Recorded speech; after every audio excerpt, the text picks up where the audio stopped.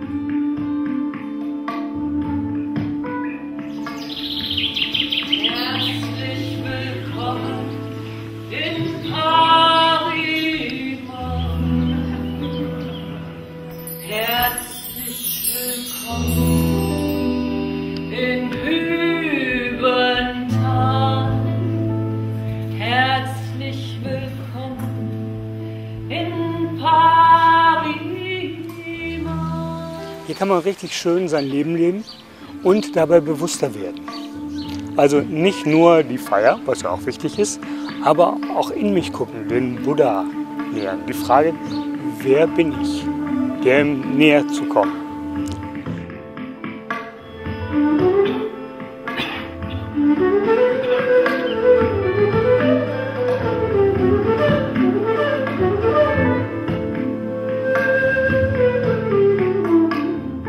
Sind wir 65 Leute geworden mit einem großen Umfeld in der Umgebung dazu. Also eben im Club, in der Genossenschaft sind es jetzt 140 Leute organisiert und das ist schon, meine ich, ähm, haben wir schon eine gewisse Kraft auch aus innen raus.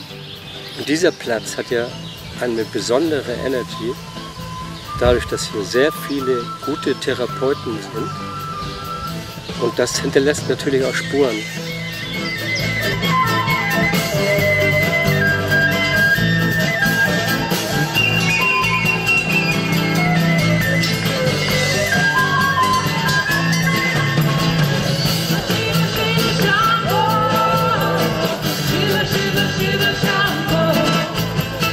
Shiva, Shiva, Shiva,